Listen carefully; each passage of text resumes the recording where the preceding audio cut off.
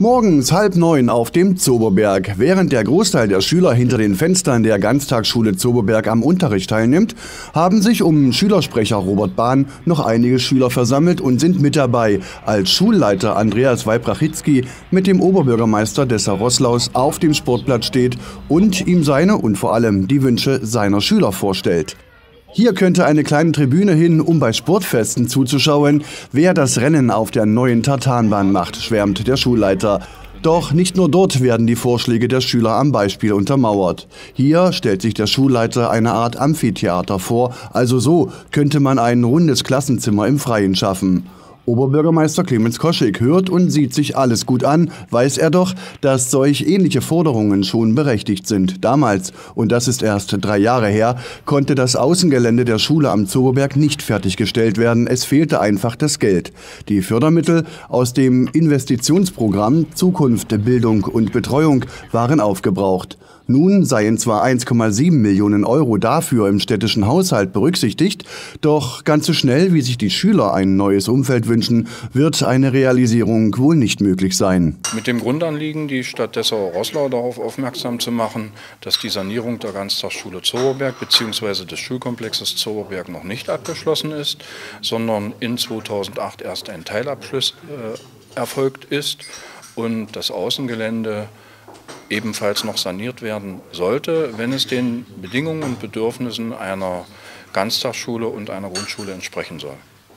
Wir haben in den Schülerratssitzungen, die wir im vergangenen Jahr durchgeführt haben, das Problem angesprochen. Die Schüler haben es zum Teil auch selbst angesprochen.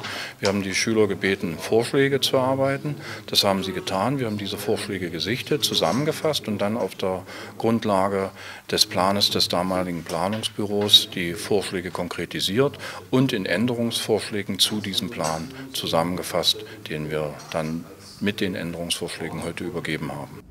Die Wünsche der Schüler wurden allesamt auf eine Tafel gebracht und so konnte sich der Oberbürgermeister selbst ein Bild machen. Als besonderen Bonbon überreichte Schulleiter Weibrachtitzky dem Stadtoberhaupt einen Plan von dem Gelände, so wie es sich die Schüler nach der Fertigstellung wünschen. Obi Koschik zeigte sich erfreut über das Engagement der Schülerinnen und Schüler, versprach das Thema ernsthaft zu verfolgen, warnte aber auch vor zu eiligen Aussagen.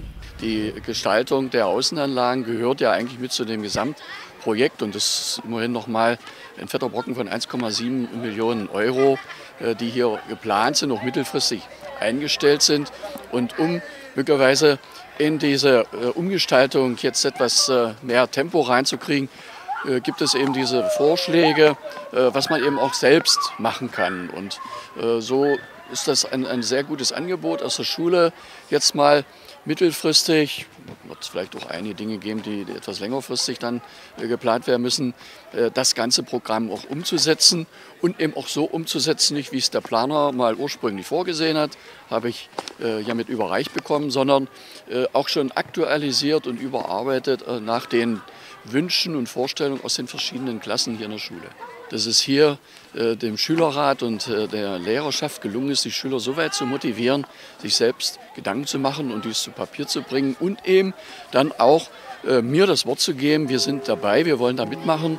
Ähm, das ist sehr, sehr wichtig, weshalb ich äh, ja heute auch der Schule und den Schülern zugesagt habe, all das, was ihr selbst mit anfasst und was wir möglicherweise in Kooperation mit der berufsbildenden Schule oder anderen Partnern hinkriegen, das hat dann bei der Umsetzung dieses Gesamtprogramms höchste Priorität.